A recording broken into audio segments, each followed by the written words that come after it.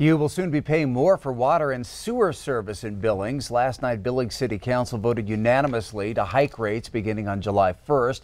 The average single family home would see an increase of 280 per month on their water bill and an increase of 78 cents per month on their wastewater bill.